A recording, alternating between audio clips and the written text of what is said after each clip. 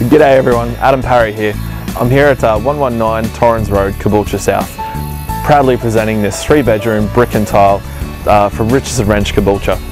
Here it's uh, currently appraised at uh, 6 to 6.2% yield and considering that uh, the Moreton region's average is around that 4.9 to 5.2%, you can see that uh, this is definitely a great investment opportunity and I'm sure it'll get a lot of interest from you investors out there.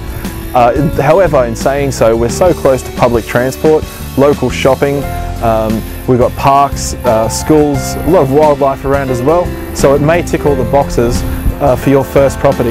And considering the market is slowly becoming stronger, uh, it might be a great chance for you to jump in. Spacious living area flooded with natural light and gorgeous breezes. Brand new oven just installed in the kitchen with surrounding bench space.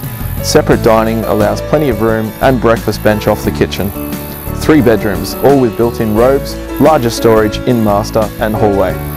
Master bedroom with split system air conditioning and sliding door with backyard access.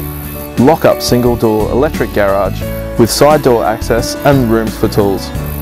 Undercover patio, established gardens and fully fenced. Security screens throughout with a security alarm installed.